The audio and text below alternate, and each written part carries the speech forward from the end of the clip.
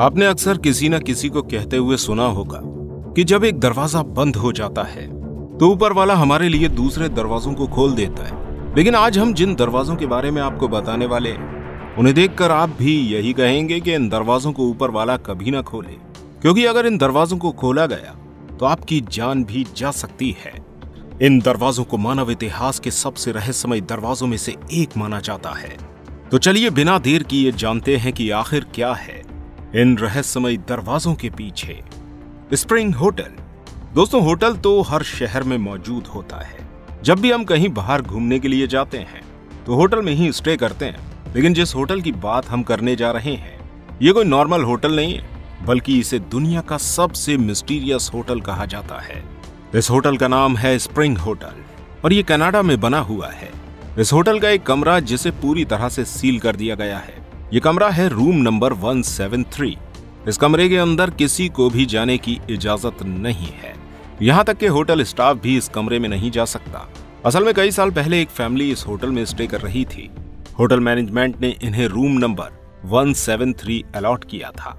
इस फैमिली को इस होटल में रुके हुए एक ही दिन गुजरा था कि अगले दिन जब रूम सर्विस के लिए दरवाज़ा खटखटाया गया तो अंदर से कोई आवाज़ नहीं आई।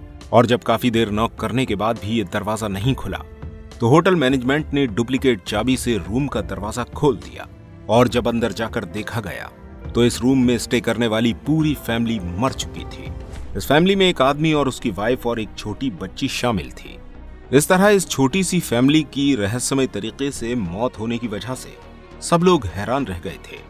जब इन्वेस्टिगेशन की गई तो ये बात सामने आई कि इस आदमी ने अपनी बीवी और बेटी को मारकर खुद सुसाइड कर ली थी। और इस हादसे के बाद से जब भी कोई गेस्ट इस रूम में रुकता था तो उसे यहाँ चीखों की और रोने की आवाज़ें सुनाई देती थी। इसके अलावा यहाँ अक्सर इस रूम की दीवारों और शीशों पर खून के निशान भी देखने को मिलते रहते थे। धीरे धीरे डर इतना ज़्यादा हो गया कि लोगों ने इस कमरे में जाना बंद कर दिया। जब बहुत ज़्यादा शिकायतें आने लगी तो इस रूम को हमेशा के लिए बंद कर दिया गया। और आज के समय में भी इस होटल के अंदर ये रूम पूरी तरह से सील है। इसके अलावा इसके आगे एक दीवार खड़ी कर दी गई है ताकि कोई इस दरवाजे में ना जा सके। North Brother Island. दोस्तों, हमें जब भी कोई बीमारी होती है तो हम उसका इलाज करवाने के लिए हॉस्पिटल जाते हैं। हॉस्पिटल एक ऐसी जगह है जहाँ बीमारियों का इलाज किया जाता है। लेकिन जिस हॉस्पिटल की हम बात कर रहे हैं, यह हॉस्पिटल बाकी के अस्पतालों से काफ़ी ज़्यादा अलग है। यह अस्पताल 1970 के समय में ईस्ट रिवर में मौजूद नॉर्थ ब्रदर आइलैंड पर बनाया गया था। जहाँ हॉस्पिटल आबादी वाली जगह पर और मेन सिटी में बनाया जाता है, ताकि मरीजों को यहाँ आसानी से पहुँचाया जा सके। वहीं इस अस्पताल को आबादी से बिल्कुल दूर एक आइलैंड पर बनाया गया था। और ऐसा किए जाने की वजह यह थी कि इस हॉस्पिटल को इन्फेक्टेड पेशेंट को रखने के लिए बनवाया गया था। ये सब कुछ खतरनाक बीमारियों को फैलने से रोकने के लिए किया गया था। लेकिन साल 2004 में किसी वजह से इस अस्पताल में आग लग जाती है, और यह आग इतनी भयानक थी जिससे ये पूरा आइलैंड जल गया था। साथ ही साथ हॉस्पिटल में मौजूद 121 लोगों की भी मौत हो गई थी। इसके बाद इस अस्पताल को पूरी तरह से बंद कर दिया गया।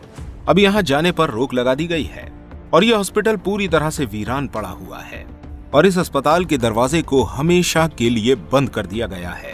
किसी को भी इसे खोलने की इजाज़त नहीं है। ताजमहल का तहखाना। दोस्तों, वैसे तो हमारी इस दुनिया में कई सारी खूबसूरत बिल्डिंग्स मौजूद हैं। लेकिन ताजमहल को इन सब बिल्डिंग्स में सबसे ज़्यादा परफेक्ट और खूबसूरत माना जाता है। ताजमहल को सन 1832 में शाहजहां ने बनवाया था। ये इमारत इतनी ज़्यादा खूबसूरत है कि इसे देखने के लिए दुनिया भर से टूरिस्ट यहाँ आते हैं। इसके अलावा ये हमारी दुनिया के सात अजूबों में से एक भी है। लेकिन क्या आप जानते हैं कि ताजमहल के नीचे एक बेसमेंट भी बना हुआ है, जिसमें जाने का सिर्फ़ एक ही दरवाज़ा है, जिसे कई सदियों से बंद किया गया है। और इसके अंदर जाने की परमिशन किसी को नहीं है। कोई नहीं जानता कि इस दरवाजे के अंदर आखिर क्या है। रिसर्चर्स का कहना है कि इस बेसमेंट में शाहजहां ने अपनी बीवी की कब्र बनवाई है और इसके अलावा असली ताजमहल इसी दरवाजे के अंदर बना हुआ है। और जो हम बाहर देख रहे हैं, ये तो उस ताजमहल की सिर्फ़ एक कॉपी है।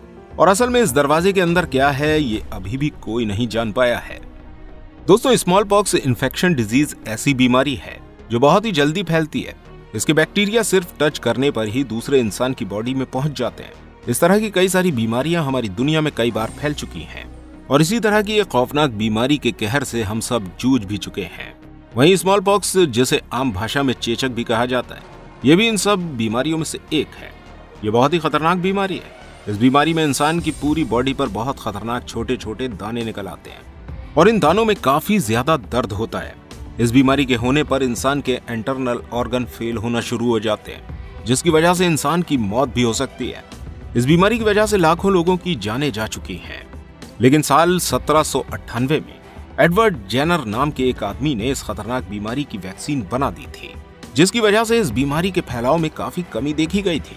लेकिन क्या आप जानते हैं कि अमेरिका और रशिया जैसे देशों ने स्मॉल पॉक्स वॉल्ट बना रखे हैं, जिन्हें बहुत ही सीक्रेट जगह पर बनाया गया है? इसके बारे में किसी को कोई जानकारी नहीं है। बताया जाता है कि इन्हें न्यूक्लियर वेपन्स के साथ सीक्रेट तरह से रखा गया है। यहाँ स्मॉल पॉक्स के ऐसे सैंपल्स को रखा गया है, जिनका इलाज दुनिया में किसी के पास नहीं है। इन सैंपल्स को दोनों ही देशों ने न्यूक्लियर वॉर में इस्तेमाल करने के लिए रखा है। दोस्तों सोच कर देखिए कि अगर कभी गलती से ये डिज़ीज़ फैल जाती है तो इससे हमारी दुनिया का क्या हाल होगा? और इस तरह के सैंपल्स को संभाल कर रखना बहुत ज़्यादा खतरनाक है।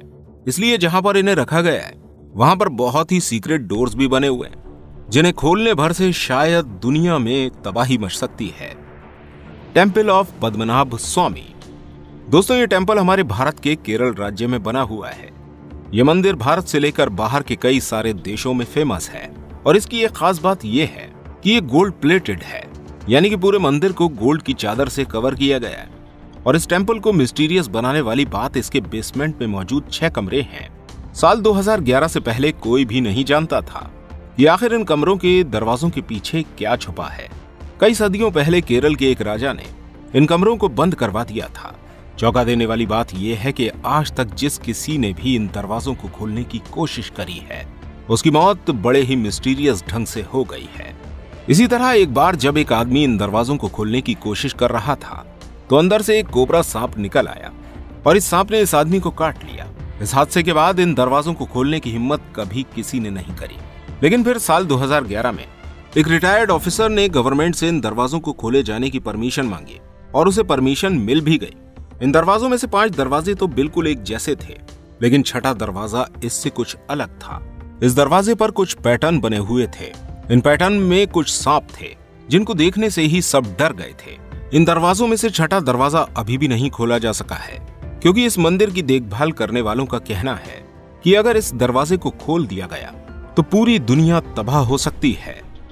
H H Holmes restaurant. दोस्तों, आपने कई सारी मूवीज़ में कई सीरियल किलर्स को देखा होगा, जो बेकसूर और मासूम लोगों को बगैर किसी वजह के मारते रहते हैं। लेकिन अगर हम आपसे कहें कि असल दुनिया में भी इस तरह के लोग होते हैं तो क्या आपको यकीन आएगा? दोस्तों एच एच होल्म्स इसी तरह का सीरियल किलर था। यह अमेरिका में रहता था। और इसे ही अमेरिका का फ़र्स्ट सीरियल किलर बताया जाता है। इसने अपने होटल के अंदर 200 लोगों को बिना किसी वजह के मार डाला था। इसने अपने होटल को बहुत ही अलग तरह से डिज़ाइन करवाया था, जहाँ लगभग 100 रेस्ट रूम बने हुए थे, जिन्हें बिल्कुल साउंड प्रूफ बनाया गया था, और इन कमरों के दरवाजों को इस तरह से डिज़ाइन किया गया था, जिन्हें सिर्फ़ बाहर से ही खोला जा सकता है। ये लोगों को मारने के बाद या तो उन्हें तेजाब में जला देता था, या फिर उनकी हड्डियों का ढांचा निकालकर मेडिकल कॉलेज में सेल करता था। इस रेस्टोरेंट के दरवाजे भी आज तक बंद पड़े हैं, जिनको इन्वेस्टिगेशन के बाद बंद कर दिया गया था। तो दोस्तों, इस दुनिया में बहुत सी अजीबो गरीब चीज़ें मौजूद हैं। ऐसी ही और मिस्टीरियस चीज़ों के बारे में हम अपने इस चैनल पर बताते रहते हैं।